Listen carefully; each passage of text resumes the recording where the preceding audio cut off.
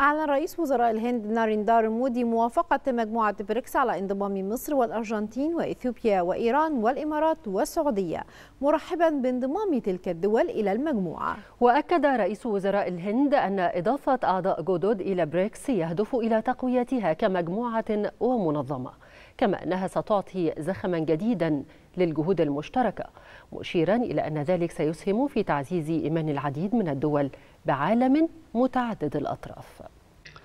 الهند دائما كانت وتدعم توسيع مجموعة بريكس.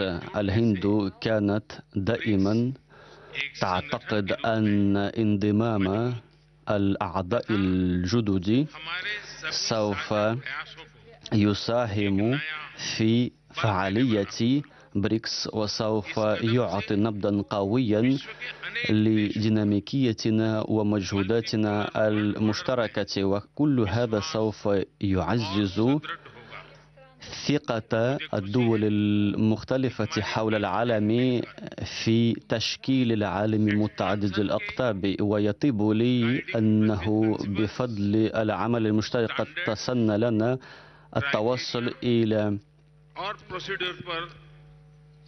تحديد المواعيد والإجراءات والتدابير لتوسيع مجموعة بريكس. على أساس كل هذا قد توصلنا إلى الترحيب بإثيوبيا الأرجنتين والإمارات والسعودية في أسرتنا بريكس.